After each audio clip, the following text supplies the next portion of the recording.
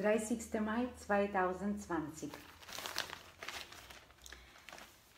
Aber auf Gewerkschafter ist doch Verlass.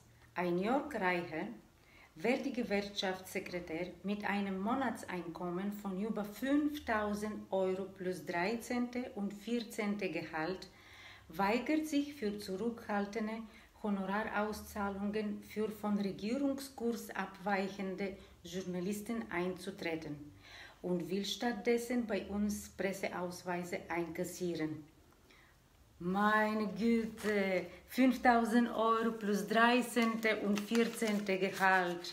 Unglaublich. Und Presseausweise einkassieren. Schweinerei.